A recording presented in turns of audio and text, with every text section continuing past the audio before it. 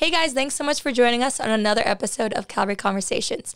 My name is Moriah and I'm here with my dad, Pastor Craig Roters. Hey. Today we have a very special guest who is an author, teacher, and he also has a podcast. He's written 37 books and he is a pastor at Bridgeway Church in Oklahoma. It's my honor to welcome Pastor Sam Storms. Sam, thanks so much for joining us today. It's good to be with you. I've been looking forward to this. Yeah. I know it's hard. I was like wanting to call you Pastor, Doctor Sam Storms, but I love that you just like just Sam. Sam. But yeah. um, that's we, my name. I, that's what I respond to. yeah, exactly. So we're gonna pray before we get started. So, Dad, would you like to pray? Father, I thank you so much for this day, and I thank you for Pastor Sam mm-hmm. making the time for us. And I just pray that you'll bless this conversation direct it, Lord, as your word says, whatever commit to, Lord, it shall be established. We pray your perfect and holy will be done. We ask that you guide us. We pray that you would really help us to answer questions that uh, sometimes we uh, we answer questions that the church is not asking, but we pray you'll really help us to answer questions the church is concerned about, like tongues and the balance and uh, charismatic uh, and Calvinist and Arminianism. And uh, we just ask that you would just guide this conversation, bless our conversation. And thanks again for Sam. And I pray that as he blesses and refreshes many people through this podcast, we pray that he himself would be refreshed mm-hmm. and bless him and his church. And we thank yes. you for him. In Jesus' mighty name, amen. All right. So we like to encourage our guests that this is a conversation. So we're going to have Sam talk, but then we're going to be, you know, jumping in, asking some questions and sharing. So, the first question we have for you, Sam, is your background and who are you and what do you do?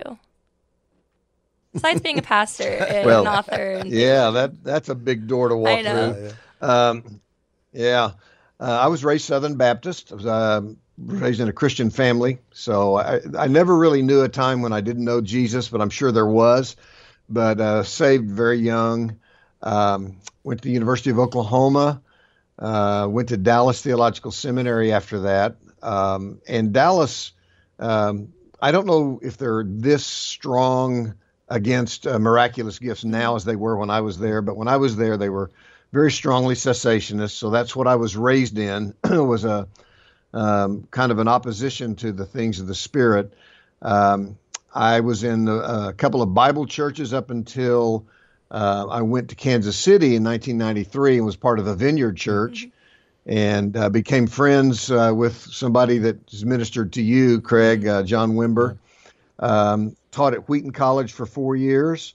Um, started enjoying God Ministries in 2004, traveled all over the world and wrote books, and then came to Bridgeway Church here in Oklahoma City in 2008. So I'm coming up on the end of my 13th year here, and uh, uh, my my journey through uh, churches and denominations and schools is one thing. My theological and spiritual journey is another one um, that is quite uh, interesting. You probably want to pursue that a little bit, but just to give you a brief synopsis, uh, I was what you would call an Arminian cessationist. Um, uh, I, I, didn't really have words for it back then, but um, I did not like anything having to do with the sovereignty of God or divine election, and very much opposed to the gifts of the Spirit. Um, my my shift from an Arminian to a more Calvinistic view happened uh, when I got to Dallas Seminary. Mm-hmm. Um, I was greatly influenced by a man named S. Lewis Johnson, who was professor of New Testament there for many many years, and um, my view on spiritual gifts didn't really change until about 1987, 1988. So I'd been in ministry for about 15 years and had a massive uh, reorientation, looked at the arguments that I had been given while I was in seminary, uh, realized that I just couldn't find biblical justification for them. Mm-hmm. And to my everlasting shame, and I, I've acknowledged this and repented of it, I never bothered to actually open the Bible to see if what my professors told me was true. Mm-hmm just out of respect for mm-hmm. them, I just said, "Well, sure, if you believe that, why shouldn't I?" Yeah. And um, came to understand the reality of spiritual gifts. So that was in about 1988. So from 88 to the present, um, what is that? Uh, like 21, 33 years now. I've uh, been operating um, in the gifts of the Spirit, um, and um, it's just been life changing, transforming. have a very high view. Of course, when people ask me if I'm a Calvinist, I always stop and say, define the term and I'll tell you if I'm one because yeah. there's so many such a hybrid today. And, yeah, you notice how I mean everyone's yeah. such it's not simple like 30 years ago everyone's like I'm this yeah like uh you Joshua Lewis a, says I just have obviously a very high high view of God's sovereignty and salvation and his providential orchestration over all events in the world. Um, so I've just a very high view of the the uh, preeminence and the priority of God's grace uh, in salvation.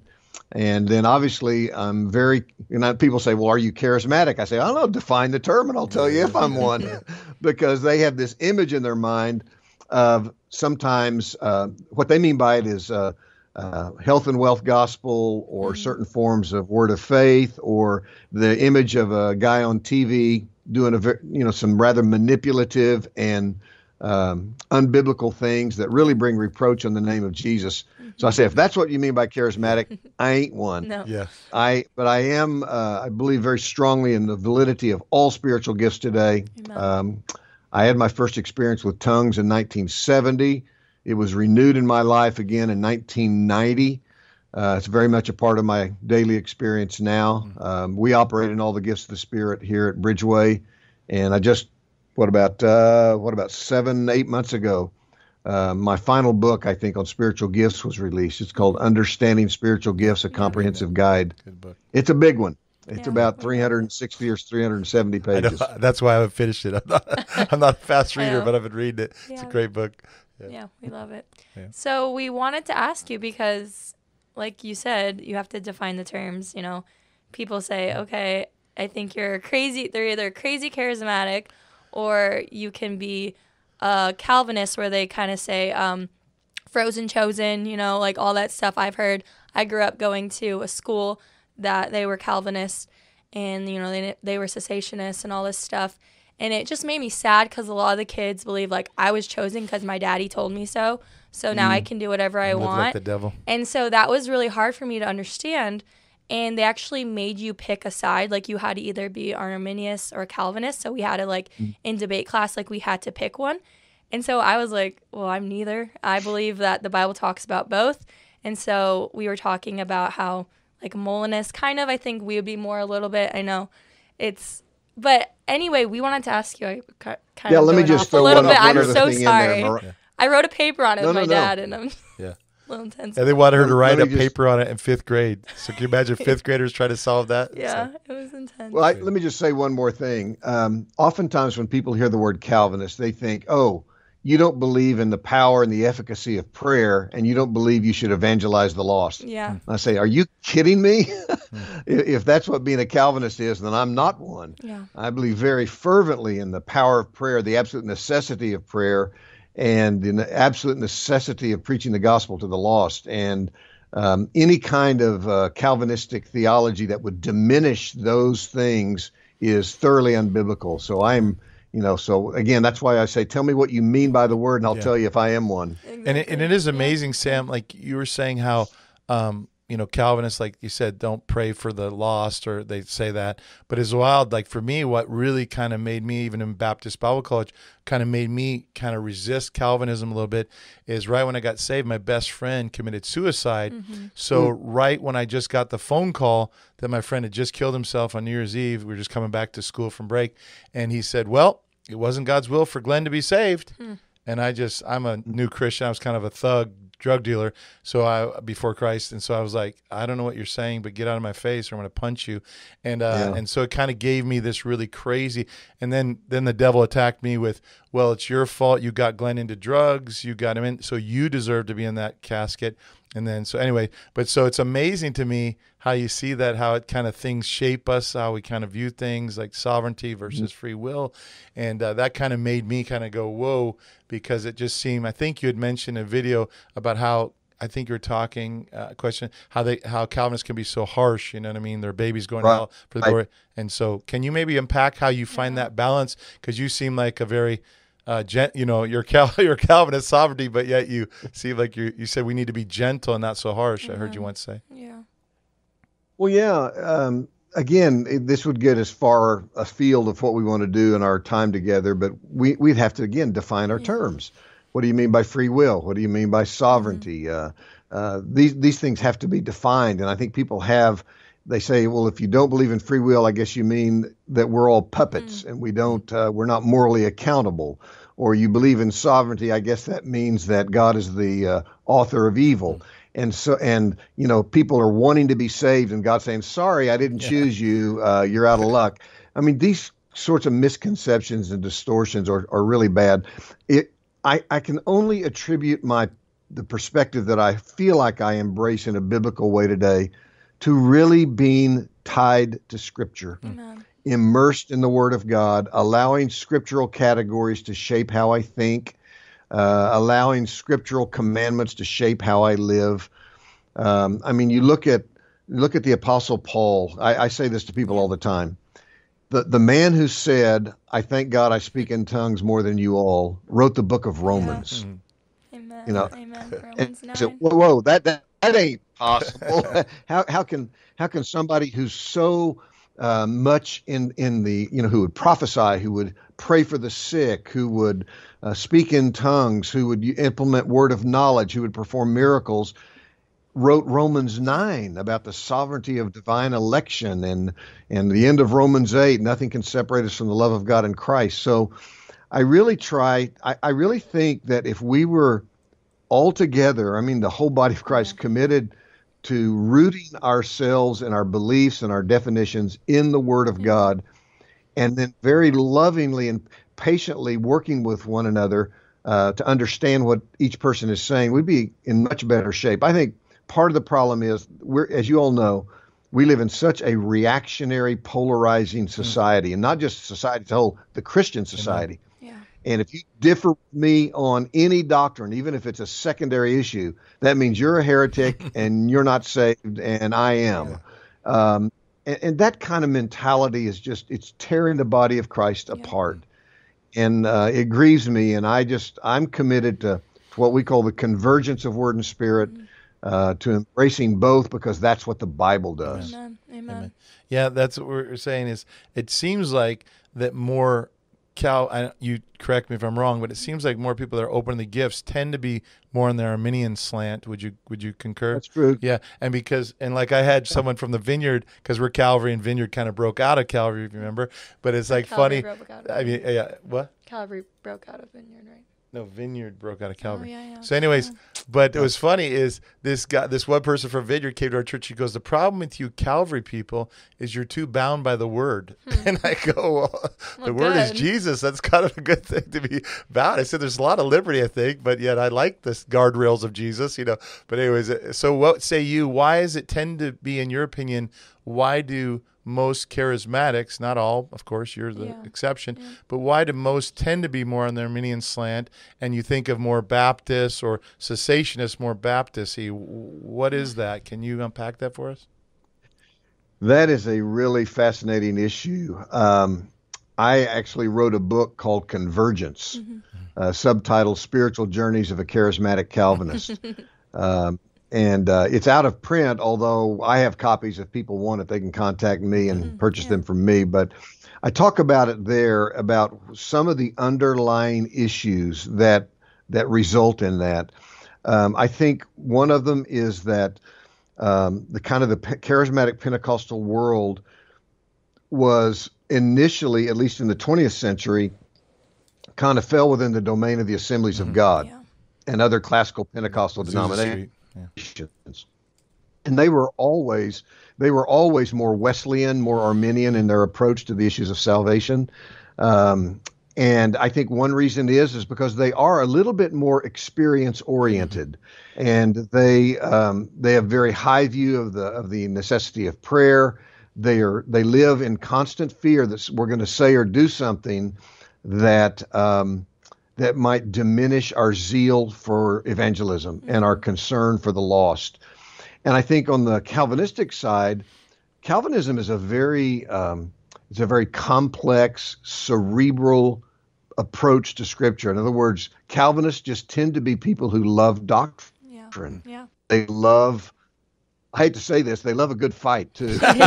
and um, this is true. true. Yeah. And and so they tend to be more. Um, you know, you, you look at them and you say, all right, um, the Arminian goes to church looking for an encounter with mm-hmm. God. The Calvinist goes to church just wanting to understand Him better. Yeah. Um, and they're driven by these these kind of divergent passions, which I think need to converge. I think we have to have them both. I want to encounter God. I want to experience Him, but I also want to understand Him, mm-hmm. and I want to worship Him appropriately. Um, so yeah, there are a lot of factors. Um, oftentimes, believe it or not, I don't want to kind of veer off of you know scripture here, but oftentimes it's issues of personality. Mm. Um, there there are people who are simply wired to be more theologically rigorous, and others are wired to be more emotional and affectionate and in touch with their feelings, and they tend to just uh, they, they, tend to kind of diverge on that point, and the the the more um, cerebral, theologically minded are drawn to the kind of the rigors of Calvinistic theology, and those of the more emotional, affectionate orientation are drawn to the zeal and the outreach and the uh, kind of the relational approach to Christianity that you find among more Arminians. Mm. Yeah. So you're saying that's Calvinists? A, that's a deep subject. Yeah. Calvinists are more smart based. Arminians are more kind of goofy. I'm just kidding. I'm just no. kidding. No, I'm, I'm kidding. No. You know that's the crazy thing. No. I some of my Arminian friends are among the greatest scholars yeah. in the world. Mm-hmm. Uh, one of my very good friends is Craig Keener, mm. okay. uh, who has Craig is um, Arminian and he is a, charismatic, and he's probably one of the top two or three New Testament scholars in the evangelical world today. Uh, and then I have Calvinistic friends um, like John Piper and Wayne Grudem, um, who are incredibly, and Gregg Allison, another professor at Southern Seminary. These men are committed to the things of the Spirit. So um, I love to see the convergence of the two. I see it in a lot of my close friends. Uh, unfortunately, sometimes the divisions and the kind of the we put people in these categories and then, and we and, and we don't allow the, re, the, the kind of the cross breeding, the cross pollination yes, between the two, which we really need. Yeah, it's funny you say that because I was going to ask you, how did you make it through Dallas Theological Seminary and be a charismatic because, like I told you off camera, I, I wasn't then. Okay, oh, well I was telling you, oh, I, I, was a I was a hardcore cynical cessationist yeah. all during my seminary yeah. days. Because they taught. I mean, I told you I had a the teachers, I don't know who he was, but in 82 teach me that it's either demonic or made up tongues. and uh, tongues was. And so, and, and pretty much against the gifts. Yeah. And so how, you know, to kind of answer maybe that question and also how you're finding that balance of yeah. trying to have people that are really doctrinally based, but also want to experience the true God of the Bible, right? Because there is experience in Christ, but yet we don't want it to be all crazy as we're going to talk later about going into extreme like the mm-hmm. Toronto blessing and all that which you probably dealt with being a, a vineyard person mm-hmm. and so how it gets where you know uh, and I, I'll just kind of maybe see it without saying too much but like I was Baptist got filled with spirit um, uh, you know believe in the gifts and then all of a sudden the Toronto Blessing hit in 93ish I think it was 93 and all of a sudden people are doing 94. crazy stuff and then when I'm kind of trying to decently in order you know 1 Corinthians 14 they say you're quenching the spirit brother mm. and I go well, it's a spirit but I don't think this is the Holy Spirit and you know just you know you mm. you know all that stuff and then I asked I asked Randy Clark you know face to face who was a mm. Baptist at one time and I said how much of this is flesh because he's kind of the founder of the Toronto or helped bring that. And he says 80, mm-hmm. this is just like three or four years ago, 85% of it, what, 27 years later, is flesh, he said out of his own mouth.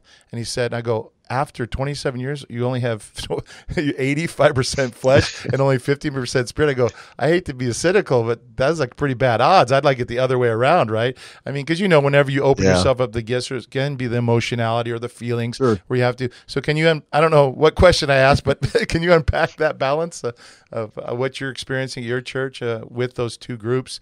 Yeah. Uh, by the way, Randy's a good friend of mine. Oh, really? Um, cool. He's actually hosting a big big conference here in Oklahoma City in August that I'll be going to.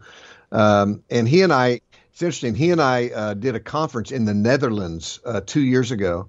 And as part of the conference, they sat us down and did an hour long interview saying, How did the two of you get along so well, given the fact that you're kind of in different theological yeah, camps? Exactly. Um, in that issue. Uh, so it, it, was really good. It was very helpful. Um, well, I just let me just describe for you what happens in our church. I'm preaching through Romans right now, and the people will tell you it's rigorous. It is verse by verse, line upon line, ex- expositional preaching. I tackle the tough doctrines. We talk about human depravity. We talk about justification. We talk about sovereignty of God. Um, all of these things. And when we finish, we what I we do here is I preach first, and then we have our time of worship and corporate singing, mm-hmm. and it's thirty minutes of highly energetic, intimate, oftentimes very emotional, but rooted in li- lyrics that are biblical. We won't sing anything that isn't Amen. biblical, but we we want to we want to stir up our affections for God. Um, you know, Peter, First Peter one eight talks about loving Jesus and rejoicing with joy inexpressible in Jesus. And so we want to create an atmosphere in which that can happen, not manipulated, not mm-hmm. man made, but so the Holy Spirit can do that in and through us.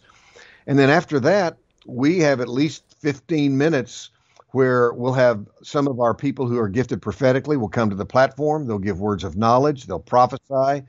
Uh, we have prayer teams and we pray for the sick every Sunday. Um, we believe healing for today as well. So it, it is. People will walk into Bridgeway first time and they will hear me preach. They'll go, wow. I, not because it's me, but they'll say, wow, you all really believe the Bible. You go and line up online. You're not going to put up with any nonsense.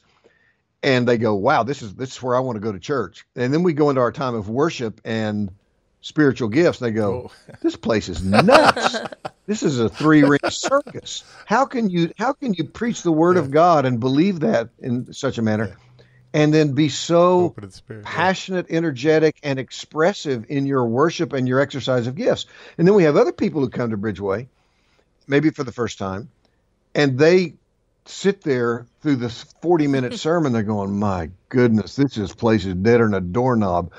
And then the worship and the gifts began to manifest. And they go, Oh, I think I like this Amen. place, but how can? And they don't know how you can yeah. do both. Which is spirit and truth, I just right? Simply say, yes. I said it's because the Bible doesn't give us another option. And here's the here's the thing that's that's that really breaks my heart is that very few churches are actually committed to doing Amen. both. They'll say they believe in yeah. word and spirit, um, but the fact of the matter is, they eventually will fall off the road into a ditch on the left or the ditch yep. on the right because it's really Amen. hard to maintain that marriage, that wedding between yep. the two. It, it's our, our human nature is such that we don't like challenges like that. We want to be drawn to that which we identify with more. And I keep telling our staff all the time, I said, I just keep reminding you all, this is really hard. Most churches give up, yeah.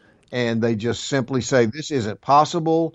Um, we're gonna we're gonna offend half the people mm. all the time, and I say, yeah, we're an equal opportunity. That's what I always we'll offend half great. of you, half the other, yeah. and um, but I just keep saying God hasn't given us a, an option here.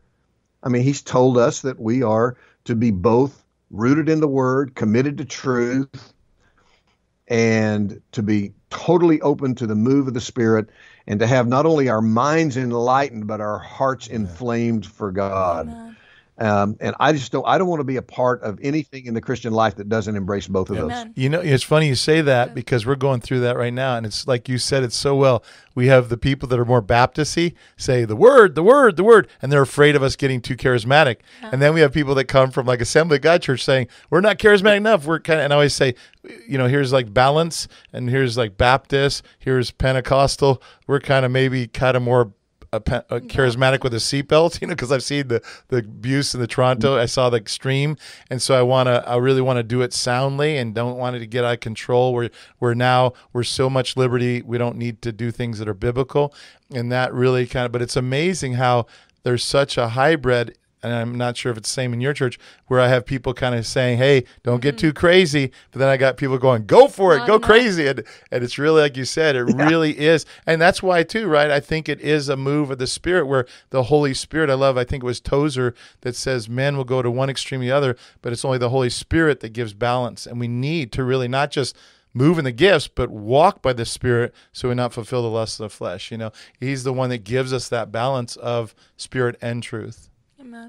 That's and, so true. And so the true. thing that I wanted to ask too is because I have a friend, she went to Masters University, and, you know, she was completely one of those Calvinists you would talk about who was very, like, defensive and argumentative. And she said that she would say that it was based off actually experience now that she is going to our church. It was funny. I was teasing her. I'm like, you came to this church to disprove people like me and saying like you can't be because we're talking to this other. I don't know if you know Phylicia Masonheimer, but she is like kind of the balance. She's charismatic, but she also um, understands like she's an apologist as a woman. Like she's a mm-hmm. theologian. Mm-hmm. She studies the word, but she kind of thought like people who are like us at Calvary, you know, we go verse by verse she liked that, but the fact that we are open to the gifts, she thought that we weren't as maybe smart or we didn't really care about mm-hmm. the word. We kind of just took it for granted.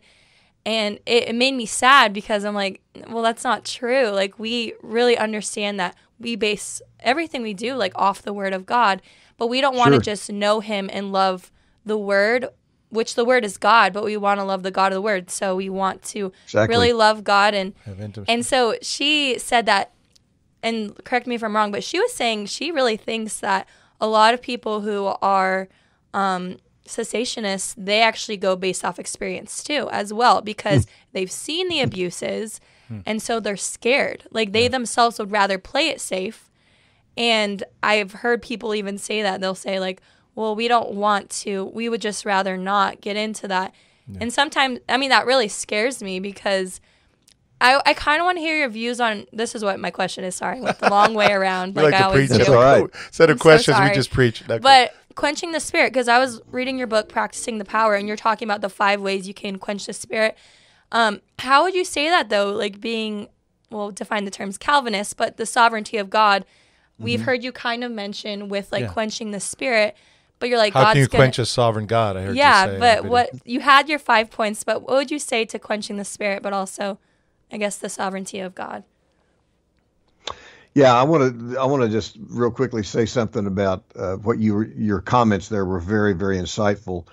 Um, one of the things I when when when my cessationist friends and those in the Calvinistic Reformed world push back, I say to them, "Where do you think we got this idea about spiritual gifts? You think we made it up? Yeah, you think we you know we had a down in a basement? Let's, let's create, let's create this uh, new ministry of the Holy Spirit that is not rooted in Scripture. And I said, look, it's because the Word of God commands us. Amen.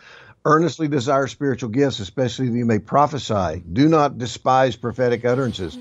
Um, we we believe and practice what we do because we believe that's what the Word of God commands Amen. us to do. Amen. So, um, yeah, I, and again, the, the, other thing you mentioned, Moriah, I think is so true. Um, most and, and cessationists don't like to hear this. Mm-hmm. They they get kind of upset with me, but I say, look, uh, you claim that my theology is based on my experience. I said it's not, but I said your theology is based on your lack of experience. Yeah, that's uh, true. Uh, because you haven't seen this. So it's true. because you haven't felt this, or you've seen it, as you just mentioned, Moriah, and you've only seen bad examples. Yeah. yeah. You saw somebody who who did something in a manipulative, scandalous way, brought reproach in the name of Jesus. It was offensive. And that's the only experience you've had, and you base your rejection of gifts on that experience. So to say that one group bases their views on experience, the other on scripture, is just a false dichotomy. Yeah. It just simply yeah. is true. Yeah. Well, but getting back to the, to the I'm sorry, go oh, ahead. I was going to ask you this based on that same thing because it's so funny how uh, John MacArthur, who I'm sure you know and maybe mm-hmm. friends with. But John, you know, kind of put you guys right, Wayne Grudem and uh, Piper, and probably you. I didn't hear your name mentioned, but probably you is mm-hmm. is I can't believe these men are so learned. But yet they support such a crazy doc. You know, I remember the strange, strange fire, fire, thing. But then what's wild is he just years before that did an interview for Calvary saying uh, about Chuck Smith saying we really love uh, Calvary because it's it's to the Pentecostals they're Baptists and to the Baptists they're Pentecostal and I'm thinking well okay, you said that. So now how are we strange fire and we're a bunch of nut bars making up, you know, doing things yeah. that are basically, in a sense, I guess, demonic or evil. I, so what, how did you, how do you I, deal I, with that when you talk, when you, I know you love him as a brother, but, uh, you know, sure. here, I'm thinking, how do you go to that extreme? Because I know even Piper and uh, Wayne kind of said, I know I heard Piper say, "Whoa, I have to respectfully disagree with you on that. That's too far." You know what yeah. I mean? I might not like it. It might not go as far, but you can't say it's strange fire. Yeah. What? Yeah, I, I think the my own own opinion is that the the principal reason for MacArthur's stance has largely to do with two things. Number one, he's in Southern California, oh, and there's a. I mean, don't anybody take offense yeah, if you're from Southern California. But that's the but let's be honest. no, yeah, sorry. there's some really flaky things yeah. that come out of Southern California yeah. and that happen there. And then secondly, he takes from the very worst examples of the charismatic Pentecostal world, and he assumes that we all embrace those same extreme views, and you know, I when I respond to my cessationist friends, I don't do it by pointing to the uh, oppressive legalism uh, in the Bible Church movement mm. or the uh, spirit quenching attitudes of many people in the Reformed cessationist churches. Uh, or the arrogance that sometimes uh, we see evident in those who are more more theologically driven. Yeah. But I think John he takes when you read his books, he cites examples that I think most thinking charismatics would say, well, yeah, I agree with you about that, but that's not what we believe. That's not what we do. Yeah. But he kind of paints with the station. And it's this idea, well, if your belief in the spirit, uh, spiritual gifts and the work of the spirit today has the potential to produce this kind of fanaticism, then it must in and of itself be wicked, dangerous, and unbiblical. Yeah. And I could just as easily push back. I say that if your kind of cessationism produces this kind of arrogance and legalism, yeah. then it must be a bad yeah. fruit that or bad root that's producing bad fruit. Yeah. And both sides need to stop doing that. That is not the way Christians need to treat one another or dialogue with one another. That will not lead us to the truth. And, and you think um, he would see so, he would see you and Piper and Wayne Grudem as very sound theologians, Amen. but yet you know that that would sort of. But I mean, he, he, he does, no but that he would say that us. validates because you are sound theo- theologically, yeah. but yet you also have this experience done decently in order, and that well, you think he would kind of go, "I got to really wrestle with that because how could my good Calvinist friends that are sound doctrinally believe in this experience of the gifts moving decently in order. You know, I mean that that should bring him to a to say. I mean, I might not be excited about it, but I have to believe yeah. why would these men of God who I respect and love he, he, would he would probably say I don't understand them. I don't know how they can do it, but they're only a handful, and I see so many more abuses of the crazy yeah. fruitcakes in the charismatic subculture. Yeah. Um, and um, you know, John and Wayne and Sam um, are uh, are very much a minority, and therefore don't have to take them really all that seriously because mm. the mainstream charismatic world is Nutsville. Hmm. Yeah. Uh, and of course, I just don't believe that's true. I think mainstream charismatic Christians are Bible believing, God exalting, um, wonderful Christian men and women. So, but again, it's it's the internet has done it, TV has done it, social media has done it, where some of the more flaky and um, unbiblical uh, expressions of charismatic life have kind of taken. You know, you you won't find a news documentary done on our church, yeah, on a balanced church, mm, yeah. or, or or a church that really shows the convergence of word and spirit. They're gonna they're gonna find the most outrageous example of charismatic extremism. That's what's going to draw viewers. That's what that's what brings in the money. Mm-hmm. Yep. Um, yeah. So all of these things factor in, I think, to why somebody like John would take the view that he does. Um, but again, I he's a brother in Christ, and we'll have fun in eternity talking about yeah. this. And it's so funny how, like, you know, even though we believe the gifts, how so many Calvary people really love uh, John MacArthur because he goes through the Bible verse by verse. You know what I mean? Sure. And so we love him, but we just disagree. And that's where I really love from what little I know of mm-hmm. you. But what I love is just your heart to be able to disagree respectfully, yeah. you know, with people or say, hey, I believe this and you don't. Like, you know, like I said, Randy Clark, it was kind of like I'm talking to him and I'm going, wow, how could you say that and not kind of go, wait a sec, 85% of my meeting is flesh. I'm going, you know, to me, I kind of, I guess I'm not as mature as you are, but I mean, I went, that's well, pretty messed I, I think up. Randy dude. would say, I think Randy would say the same thing that I would say is that, um, the 15% of the real is worth putting up. That's what he said. Uh, that's what he said.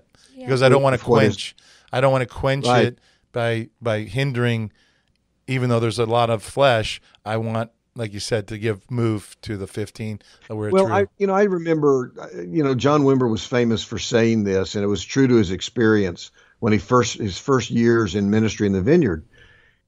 Um, he said, We prayed for hundreds yeah. and hundreds of people, and no one got healed. And finally, after a couple of years, lady, right? they got yeah, one. That lady, that was John's way of putting it. We got yeah. one. Yeah. And and his his his comment many times I heard him say this he said, I would rather pray for a 100 people and, and endure the fact that 99 didn't get healed for the sake of the one that did, rather than not pray for any of them and nobody gets yeah. healed. Yeah. Now, not everybody can embrace that perspective. Yeah. I do. I would rather pray for a thousand people and only 10 of them get healed and deal with the anguish and the frustration of the 990 that didn't than to say, well, I'm just not going to pray at all. Uh, at least I'm just going to do the most without any expectations of healing, and none of them get healed um, at all. I, so anytime you you you, um, you, you deal with the work of the Spirit through broken human beings, there's going to be a lot of brokenness, yeah. a lot of human flesh, a lot of uh, fabrication. I'm willing to put up with that. I'm. I tell our people, if you aren't willing to put up with the mess, um, then you're not going to have the reality. It's yeah. just that's just the way it is with broken human beings. See, yeah, that was the thing for me. It's like, yeah, that that part because you know we pray for people to be healed, and a lot of people. My wife right now is going through cancer, and we're praying, believing God for her. We've been we battled this what four years. She was healed, and then it came back, and uh, so we believe that. My thing, just kind of, I mean, I don't know, but my thing was the barking. You know, the Toronto back in the '93.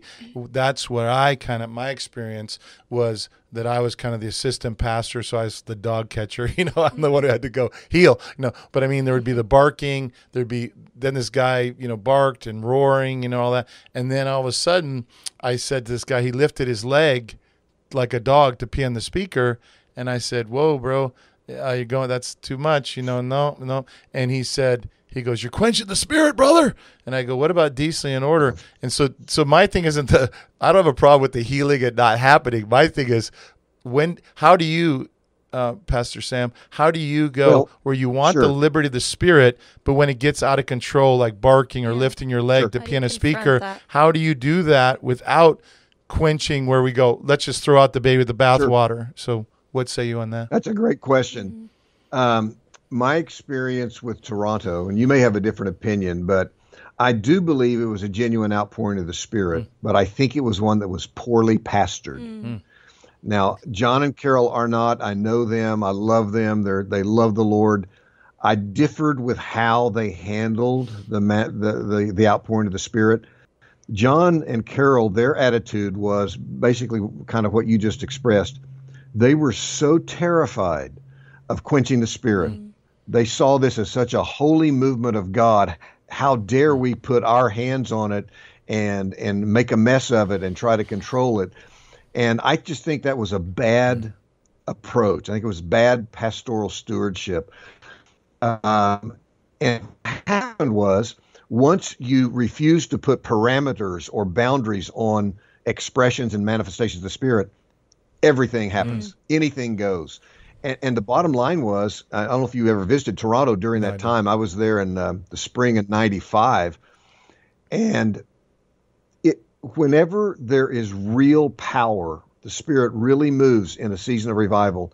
You're going to draw broken people. Mm-hmm. You're going to draw droves of people who are hungry for attention and who are will do anything and imitate anybody else if they can just somehow maybe move on God to touch them. And what happened was uh, Toronto just drew a lot of weak, broken, needy people who were ill taught, who weren't rooted in the Word, and they found a forum of freedom in which they could give expression to their to their their impulses, which led to a lot of these animal sounds and animal behaviors. And here was the mistake I think that the leadership of Toronto made. They tried to theologize the manifestations. Mm-hmm. In other words, they said, "Oh, you're moving in this way, you're manifesting in that way. That must mean this." And they tried to find biblical mm-hmm. analogies for it. Uh, or you know, you're roaring like a lion. Well, you know, the lion of the tribe of Judah or uh, you're flapping your wings like an eagle. Well, mm-hmm. you know, the eagle is the symbol of the church or whatever. And so they tried to theologize and give biblical categories to all of these manifestations. And that that is what I think really created the problem because then everybody felt justified in just giving vent to whatever they were feeling, whatever mm-hmm. impulse, whatever expression. Um, and it just it got it got unruly, it got disorderly. Uh, the focus came off of Christ and the gospel and was put on people and their experience.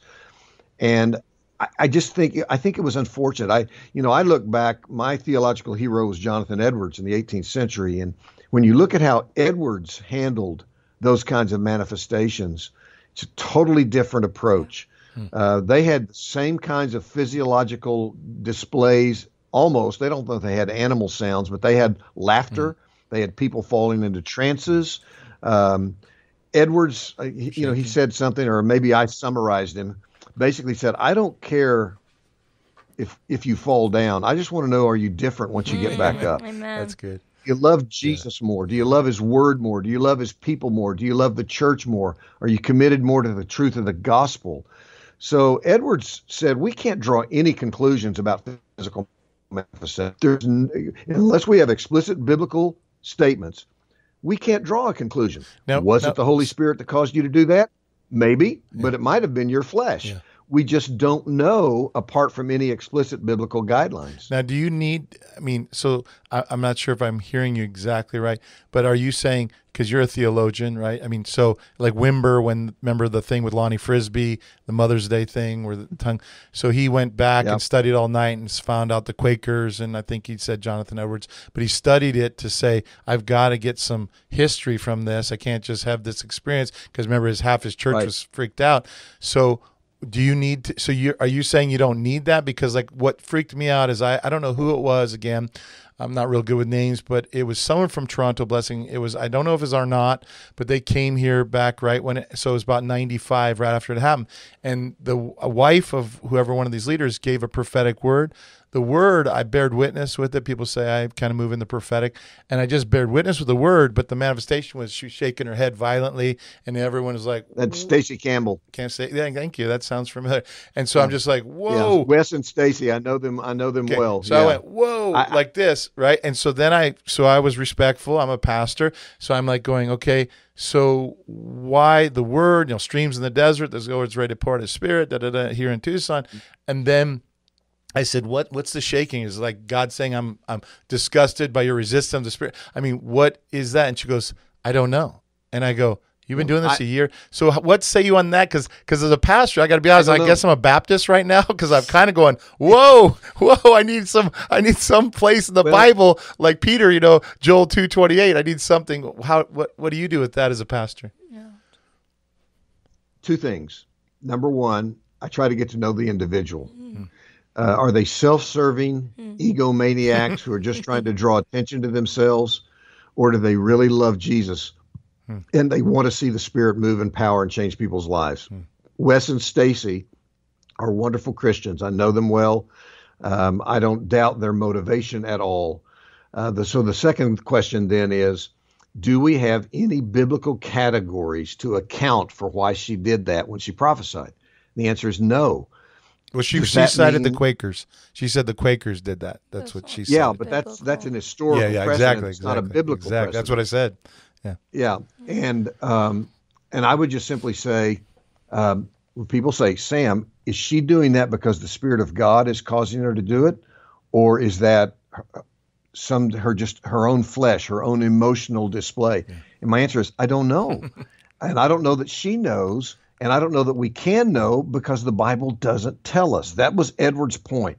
He said, Does the Bible give us uh, specific explanations for certain physical phenomena? If it does, then we can draw firm conclusions. If it doesn't, we're left with might be the spirit, might not be the spirit. Hmm. It, but Edwards' point was how, how, does it change you? Yeah. Are you different? Are you a more mature, Christ exalting, Christ like man or woman? That for him was the criterion, the fruit of the Spirit. Amen. You test the reality of the gifts and the manifestations by the fruit that it bears. And if it doesn't produce humility and a servant attitude and Christ like transformation, then it probably was your own flesh, mm. your own desire for attention. Um, so those are the ways in which I approach that sort of thing. So that, I, I so that doesn't bother you. So that being a theologian and being a doctor right, in theology, that you've learned to just say, I give some liberty to that as long as I see I, I, the fruit of the Spirit afterwards. I do, unless I have reason to doubt the character and the motivation yeah. of the individual or if I see that it doesn't bear good, solid mm. spiritual fruit. And, um, I, I, I just don't feel like I have justification for dogmatically saying that can't be God mm. or that must be God. Amen. Unless if the Bible doesn't tell me, I'm not going to say. Yeah, it's wild that I, I realized talking to you, I feel more Baptist than I, I realized because I'm a little bit as a Calvary. We got to have something for we got to have a biblical reference for everything. But it's funny you say that about balance of the fruit because the other way, like Moriah was saying earlier, how her school that was hard, you know, pretty hardcore Calvinist how they mm. would be saying, "Hey, I've got my Calvinist card. I can live like the devil," which you would say, yeah. "Whoa, whoa, whoa, Calvin said you're chosen to be holy." Amen. So I mean, hey, exactly. if you're if you're truly a Calvinist, believe the sovereignty of God, you believe the Spirit of God is right. Without holiness, no one shall see the Lord.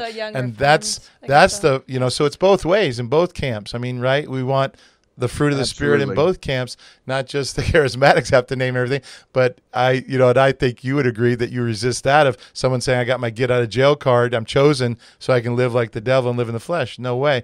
If you have the spirit the of God, who says that very likely isn't born again. yeah, no, that's true. Exactly. I mean, I, I, I go back. I, I emphasize over and over again.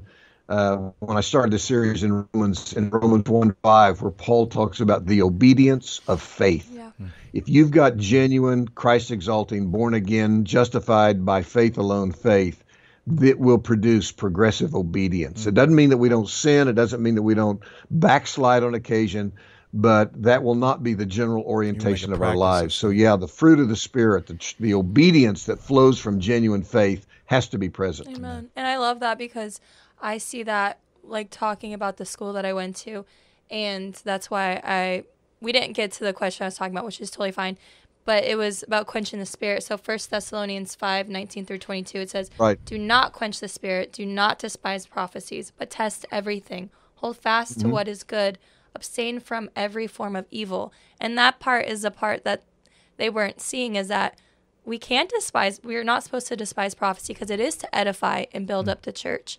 And I also like what you brought up, Jonathan Edwards, because I was literally just last night, I'm trying to finish this book that you had, and it oh. was with Sarah Edwards. And I was like thinking that yeah. was so cool because I've been praying for that same thing. And because I really wanted to read this book because I've always struggled with like, you know, because we did kind of not grow up like that, but my dad, he always apologized. He's like, I'm so sorry because we, we did grow up like very, very much. I was so thankful how my parents raised me. Like we were we made sure that um, you understood that you have to um, judge yourselves rightly or you'll be judged. Like you need to make sure that you work out your own salvation with fear and trembling. Like I would hear these verses and my dad would always he apologized like a couple years ago. He's like, Moriah, why are you like scared that like you're not saved? He's like, Are you in any blatant sin or doing anything? and I was like, No, because there was a point though where there was some sin that I wasn't confessing. And it wasn't anything big to like the world standards because like we weren't allowed. I'm like, even if I was allowed to do anything, my dad, we didn't, weren't given the opportunity. So people thought like our family is so strict. I'm thankful for it now, and especially the fact that I'm in full time ministry, and I wouldn't have been without that. And like I believe God called me to do this. But anyway, mm. I really think it was cool because I've been really like it was my dad who actually pulled me out of that Calvinist school and he had me hear the voice of God. Like he explained to me that the point isn't all like us raising you and like you can't do this and you can't do that. You're not supposed to be alone with the opposite sex. Like you shouldn't like we don't we give up the right to drink and like all that stuff. That's just how we do things and I'm thankful for that. And I didn't understand that as a kid, but now when my dad he really explained to us how important it is to hear the voice of God, to experience his presence. And mm-hmm. and that's what I've been crying out for and that's what we've been crying out for as a church like mm-hmm people get confused with the baptism of the Holy Spirit. They think this is a weird thing, like that means you have to speak in tongues and all this stuff. But it was just cool because like seeing um, you kind of summarize Sarah Edwards and her experience. And there's a lot of people who are like saying, "Oh, that's weird" and stuff. But and then her husband, right? He tested it, and I just I'm gonna read what he said. But it says, "Now if such things as Sarah experienced are enthusiasm, and then that's his word for emotionalism, and the offspring of a distemper, uh, distempered brain, let my brain be possessed with ever more the, of the happy distemper. If this be distraction, I pray God that the, wor- the worlds of mankind may all be seized with this benign, meek, beneficent. Um, oh my goodness, I can't even say these words. glorious distraction. I'm like freaking out right now. It's like echoing, mm. but I think beneficent. That, yeah. I think it's just like what I was just shocked with is like I think we just judge things so fast to be like that's not God. Hmm. But seeing like you said the experience like me it wasn't until my dad taught me how to hear the voice of God and go alone like literally would go in the desert for hours and it was until God spoke to me John 3:16 and I didn't even want to open it because I knew that I knew that verse and I was like this is stupid. And so I opened it up and then it was that then that I was just overwhelmed with the presence of God and it was so overwhelming. I was just crying and just realizing like God died for me specifically and he loves me and I just was always thinking like he loves the whole world. He loves everyone but until I could really understand that, and even like you talk about Romans 9 and reading it and understand that he do, like that shouldn't make you like, oh, I'm chosen so I can do whatever I want. Like it should be something yeah. where you're so thankful and grateful that now what you want to do is give him your life in mm. service. Absolutely. And so that's again me just going the long way around everything and not being able to read. But this is no, what people are talking right. about the charismatics who aren't smart. I just proved no, it but i'm thankful for you and like your books as well as you did. That's beautiful by like, the way that whole here. thing about quenching the spirit yeah. um, it's interesting um, that many in the reformed world struggle with that verse. Mm because they say, wait a minute, how can you prevent the Spirit from doing something? He's sovereign. Yeah. So Calvinists really bristle at that suggestion. Uh, how, how can the Spirit, how can you pour water on the Spirit's fire? Mm. Uh, you know, if he wants to do what he wants to do, he's going to do it. And I say, well, wait just a minute. Uh, you know, Paul said the spirit of the prophets is subject to the prophets. Says that in 1 Corinthians 14. And here he's basically saying, look, yes, the spirit wants to operate as a fire in your midst. And you need to be careful that you don't put in place rules and regulations that aren't based in scripture that will end up dousing his work and mm. and putting it out and hindering it. And then people say, well, if we're not supposed to quench the spirit, I guess that means anything goes. Yeah, mm. so that's no. what, that's right. Ah. Yeah. Well, no. no. It says here's the alternative to mm. quenching the spirit, to not quenching the spirit. Judge everything. Yeah. Assess it. it. Weigh it. Evaluate it. Look at it in the light of Scripture. When you see what is happening is good, embrace it. When it's bad, it's evil, reject it. Yeah. Hmm.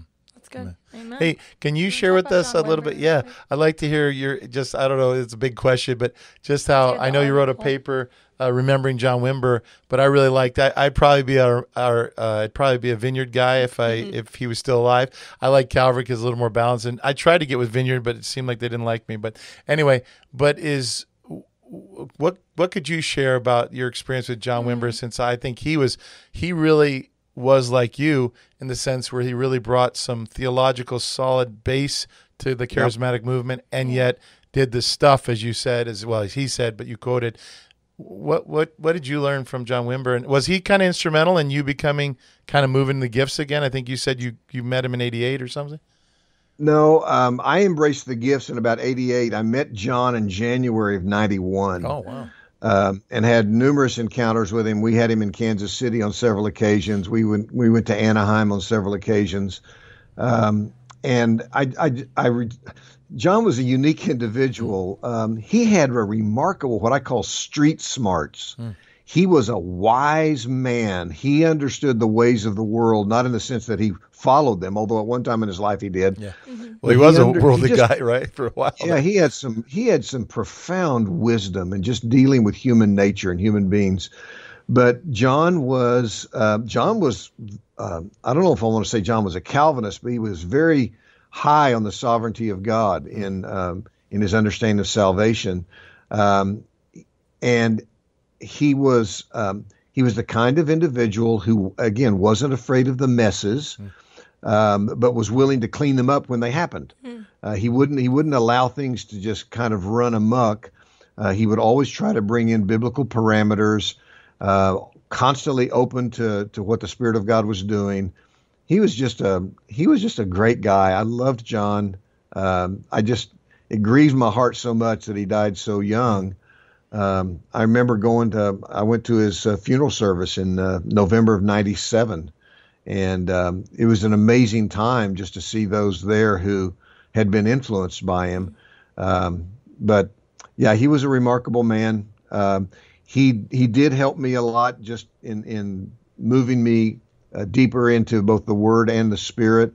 Um, but I had pretty much I had pretty much uh, I'd pretty much bought the farm before I met John. okay, That's good. He, he, just he just taught me how to tend the animals. So. yeah, I love that. Yeah. All right. So do you have any other questions? Yeah, the, well, the number five, did you want to do? You can say it. All right. So, as a Reformed guy, you love to study that. I think we already answered some of this mm-hmm. about God's Word, but you also love the gifts of Spirit. So, uh, we talked about this, but I'd like to maybe if you can say some more. Closing but where uh, John four twenty four, God is Spirit, and those who worship Him must worship Him in spirit and truth. Amen. And like you said, I think we can humbly say, uh, with the exception maybe of your church, that isn't there's not too many churches like that in no. America that I know of. Like I said, I always say to our staff, not be braggadocious, but I said if we stopped, we only have extreme Baptists or or Pentecostal charismatic. There isn't very many like you're trying to wrestle with the word, solid doctrine, but yet open to the spirit. And so, how you know if you want to say anything more on that, because I really think uh, that's what I love. That's what I really respect from what little I know of you. I just love how you're a Calvinist but yet you're very gracious and merciful and loving. Like you said, you, you know, you're bold in your belief, but you're very tolerant because I don't know what Randy, you know, Randy's probably Calvinist because he was Baptist, but but yet no, he's you, not. Oh, he's not. Okay, so it's no. like, but you can agree to disagree with so many people, and I really, that's really refreshing to me. Yeah. Where I kind of got the, you know, your friends going to hell. It wasn't God's will, you know. And I was off of my teacher that the way Cal, that the way God picks you is like when people rebelled when Napoleon's army rebelled and he tapped every fourth man who would have to die. And he said, that's how duck. And so I go, as a baby Christian, I go, so you're saying it's duck, duck, goose? That's how we get saved. Like, you know, you save, no, save, no, not saved. You not. know, I'm going, I don't know about that. That just seems so hard, you know, but, you know, yeah. they'll say, well, God can do whatever he wants. And I'm like, well, but he's a loving God, you know, so anyway.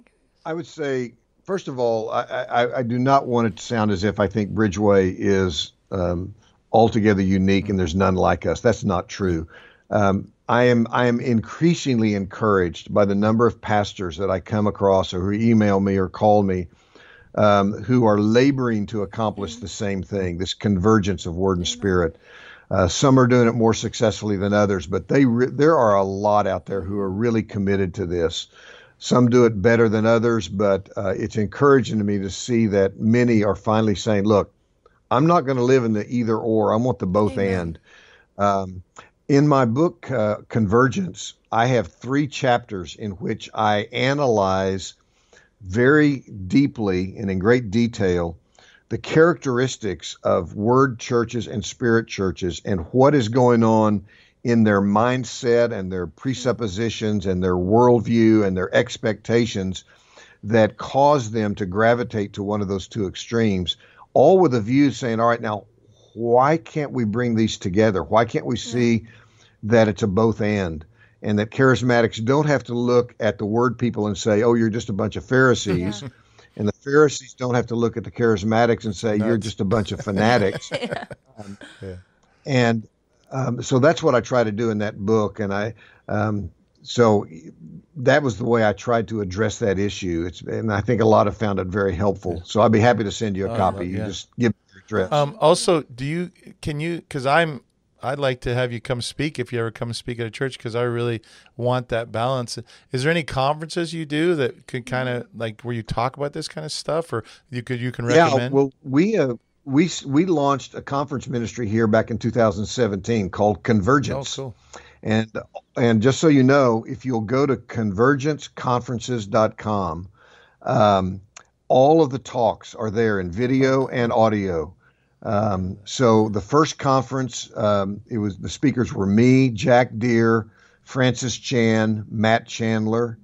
Um, the uh, this the, so we did it. It was a national conference here in Oklahoma City, had about two thousand people. Cool. In 2018, we did a smaller conference in our church building called Convergence Equip and the whole thing was devoted to the prophetic. And all of those are videos and audios, and, and the notes are all available on our website. And then in 2019, we did the national conference again, and the speakers at that one were me, Jack Deere, Matt Chandler, Michael Brown, and Christine Caine. Mm-hmm. And it was an incredible, incredible time. All of those videos, all those audios are there. And of course, then we were planning on doing one in 2020, and COVID hit. Mm-hmm. And um, so we have kind of had to put on hold um, our approach to uh, what we can do in terms of conference ministry. We hope to relaunch again, um, probably not this year, but probably in 2022.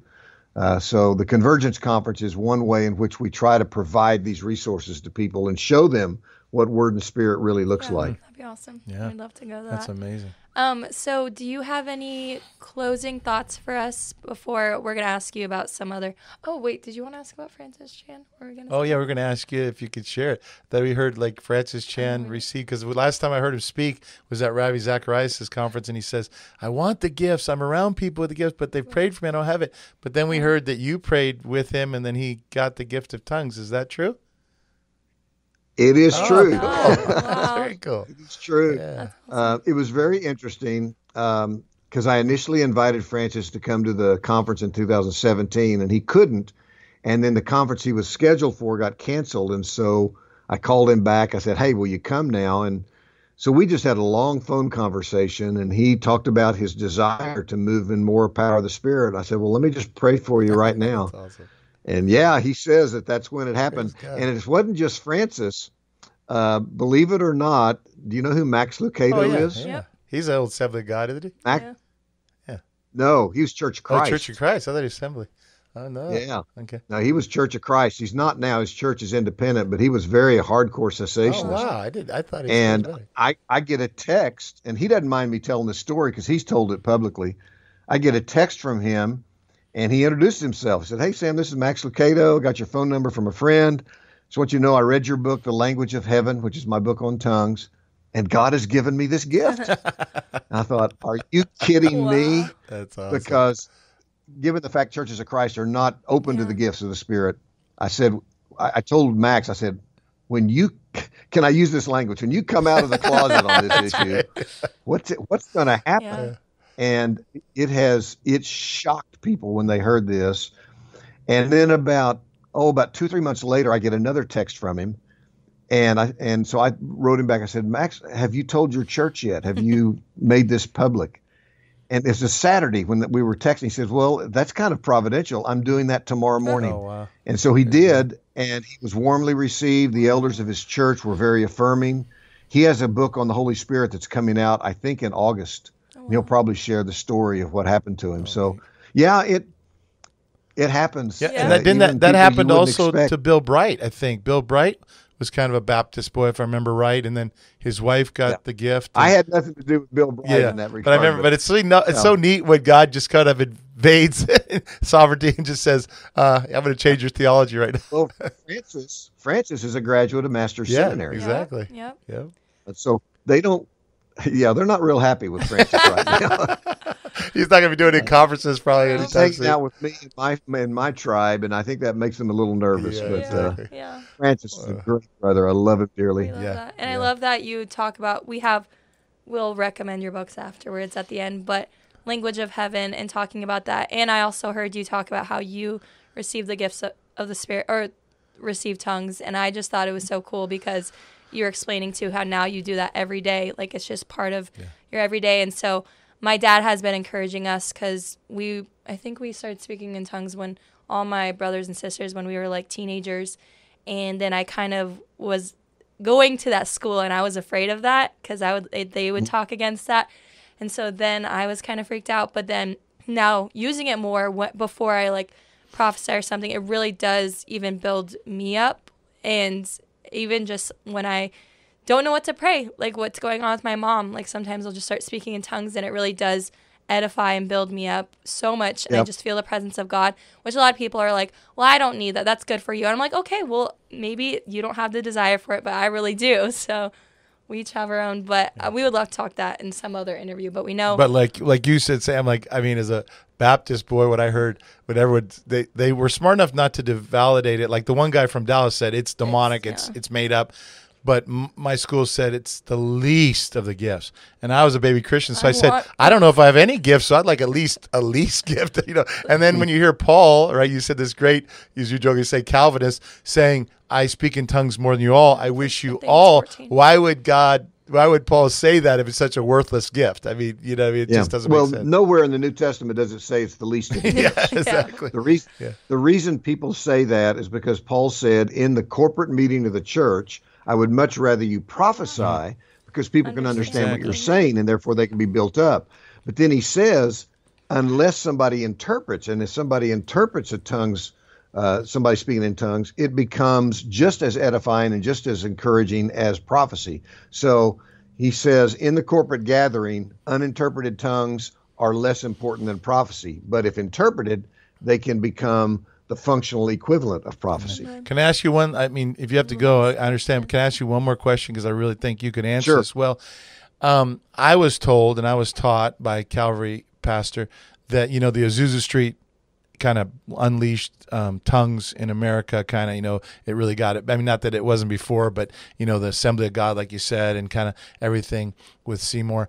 But I was told that that's when, because if you look at commentators before 1904 or whatever that was that they never use the First Corinthians 13 of when the perfect comes to kind of say mm-hmm. that the Word of God is the perfect. We don't need the gifts anymore, yeah, just to confirm the Word of God. Um, that most scholars did not say that. They believe that was heaven, of course, with Jesus.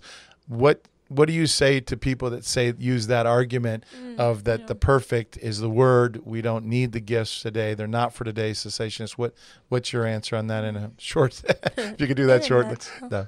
Sure yeah it is a big subject i have a, a, a, lengthy discussion of that in my book understanding spiritual gifts i Uh-oh. also talk about it in the language of heaven but it is very much a minority view um, at present um, that the perfect refers to the canon of Scripture. Yeah. Very much a minority view. Most scholars, even cessationist does, scholars, does Wimber? I mean, does uh, acknowledge uh, that the perfect MacArthur believe that? Does he believe? Uh, does he believe the perfect is the word? Um, he's one of the few that yeah. I think holds out yeah. that it refers to the canon of Scripture. But um, again, most most scholarly cessationists say, you know, no. For example, my good friend Tom Schreiner, who's a cessationist, teaches at Southern Seminary in Louisville, Kentucky. He says, 1 Corinthians 13 is the strongest text for the continuation of the gifts in the present day that I know of in the New Testament. So the perfect there is very clearly the state of affairs brought about by the return of Christ, uh, when we shall know, even as we are known, we'll see face to face. Um, so there are very few who would use that passage to argue against the validity of the gifts. Yeah. Uh, those who do just simply haven't studied the text very closely. And like I said, I, I, wish they would read my section on it in understanding spiritual gifts, and hopefully I'll be able to persuade them. I think of what is the biblical perspective on that. Amen. And isn't it true? Like you realize here, here's someone like John MacArthur, so so biblically literate, yet he can still miss it. You know, where Paul says we know in part and prophesy, where none of us have perfect theology until we get to heaven, right? But I don't crazy, have it either. Yeah. I've so. the number of times I've had to repent and change my mind and say, folks, I taught you incorrectly. Yeah. Let me bring, uh, you know, let me repent and tell you what I really think the text is now saying. So that, I mean, if we can't do that, um, you know, if we have to live in some sort of um, you know, arrogant. Uh, I don't want anybody to ever think I make a mistake kind of mentality.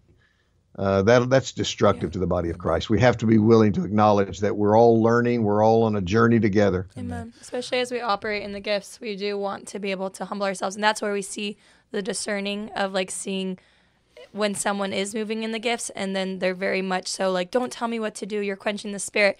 That's scary, but yeah, that's it's cool with what how God's been really doing a work in our church, and especially with the young people.